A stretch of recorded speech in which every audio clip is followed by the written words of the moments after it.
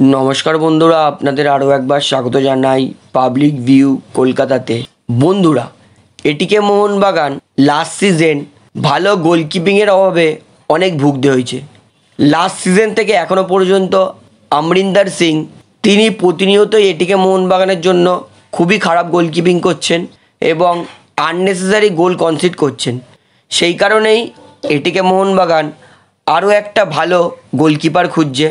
তো ক্লাব সূত্র থেকে যেটা জানা যাচ্ছে যে অরিন্দম ভট্টাচার্যকে নেওয়ার জন্য অনেকটা ইন্টারেস্ট দেখিয়েছে এটিকে মোহনবাগান ক্লাব। তো আপডেটটা পুরো দেখানোর আগে একটা অনুরোধ করে রাখি, যেহেতু এইখানে আপনারা খেলা সম্বন্ধে সমস্ত রকম আপডেটস পেয়ে যাবেন, তাই অবশ্যই পাবলিক ভিউ কলকাতা এই চ্যানেলটিকে সাবস্ক্রাইব করে বেল আইকন প্রেস করে অল করে রাখবেন।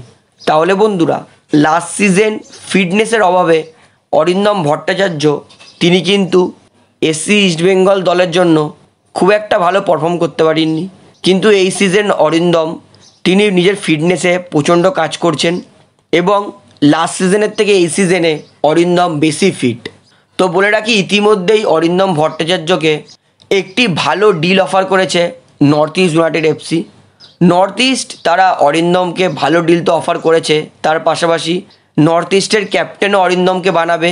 এমনকি নর্থ ইস্টে যদি অরিন্দম সই করে তাহলে অরিন্দমকে প্রতি ম্যাচেই গোলকিপিং করার সুযোগ দেবে নর্থ ইস্ট অর্থাৎ এমনই কন্ট্র্যাক্ট সেন্ড করেছে নর্থ ইস্ট অরিন্দম ভট্টাচার্যকে। তবে এবারে বলি, এটিকে মোহনবাগান তারাও কিন্তু অরিন্দমকে ফোনে যোগাযোগ করেছেন এবং তারা ভালো গোলকিপার চাইছে, তাই অরিন্দম ভট্টাচার্য এটিকে মোহনবাগান দলে খেলবে কি না অ্যাভেলেবেল আছে কি না সেটাই জানতে চেয়েছে। তো অরিন্দম ভট্টাচার্য আপাতত অ্যাভেলেবেল আছে তিনি জানিয়েছেন। তো তিনি এখন সময় চেয়েছেন। অর্থাৎ যেমন অরিন্দম এখনও নর্থ ইস্টকেও পাকাপাকিভাবে কিছু বলেনি। ঠিক একই রকম এটিকে মোহনবাগান দলকেও পাকাপাকিভাবে কিছু বলেনি। তবে বলে রাখি, এটিকে মোহনবাগান দলে কিন্তু অরিন্দমের সই করার সম্ভাবনাটা কম।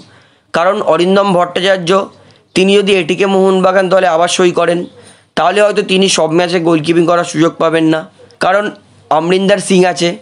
তাই আমার মনে হয় যদি আমরিন্দার সিং থাকে, তাহলে অরিন্দম ভট্টাচার্য তিনি এটিকে মোহনবাগান দলে সই করবে না। এটা আমার পার্সোনালি মনে হয়। তবে এবার দেখা যাক, অরিন্দম কী সিদ্ধান্ত নেয়। তবে যতদূর মনে হচ্ছে, অরিন্দম ভট্টাচার্য যদি ভালো কোনো ডিল অফার না পায়, তাহলে তিনি নর্থ ইস্টেই সই করবে এর সম্ভাবনাটা বেশি। তবে শেষ মুহূর্ত পর্যন্ত ওয়েট করুন, দেখি অরিন্দম তিনি কী সিদ্ধান্ত নেয়। তো বন্ধুরা, আপনারা অরিন্দমকে কোন দলে যেতে দেখলে বেশি খুশি হবেন, সেটা অবশ্যই কমেন্ট সেকশানে কমেন্ট করে আমাকে জানাবেন। তাহলে বন্ধুরা, আজকের এই ভিডিওটিতে আমার আপনাদেরকে এতটাই বলার ছিল, তো আশা করি ভিডিওটি আপনার ভালো লাগল। তো ভিডিওটি ভালো লাগলে অবশ্যই লাইক করুন কমেন্ট করুন শেয়ার করুন এবং বন্ধুরা চ্যানেলটি তারা নতুন আছেন, সবাইকে অ্যাক্ট করব। তারা অবশ্যই পাবলিক ভিউ কলকাতা এই চ্যানেলটিকে সাবস্ক্রাইব করে বেল আইকন প্রেস করে অল করে রাখবেন। ধন্যবাদ।